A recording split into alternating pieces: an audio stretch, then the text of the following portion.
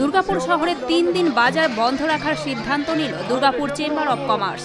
মারণ ভাইরাসের ছবল রুখতে এই সিদ্ধান্ত বলে সংগঠনের সভাপতি কবি দত্ত জানালেন।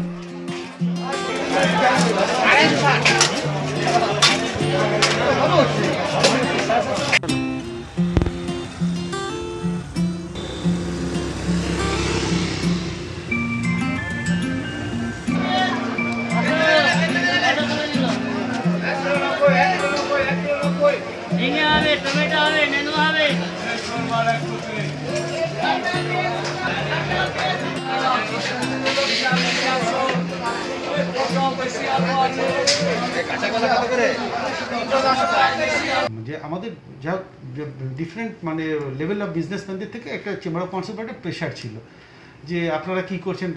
এরকম মহামারীর আকার নিয়েছে, দেখুন কোথাও হসপিটালেও বেড পাচ্ছি না। আমরা এত লোকের প্রেশার বাজারে তো দেখছেন ভর্তি লোক, কেউ কিছু মানছে না। তো তার জন্য আমরা কালকেও একটা মিটিং করেছিলাম। আজকে একটা সকালে জুম মিটিং করেছি আমরা।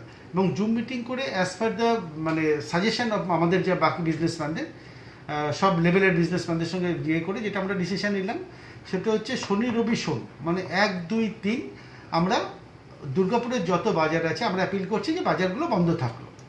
এবং তিন তারিখের পরে আমরা ডিসি- যদি অবস্থার উন্নতি হয় আমরা সেই হিসাবে ডিসিশন নিয়ে আমরা করব যে বাজার আবার নর্মালি খুলে যাবে না আমরা কিছু রেস্ট্রিকশন অফ টাইম করব। দুর্গাপুর থেকে হরি ঘোষের রিপোর্ট এনএম নিউজ। সমস্ত খবরের তৎক্ষণাৎ আপডেট পেতে সাবস্ক্রাইব বাটনটি ক্লিক করে বেল বাটনটি ক্লিক করুন।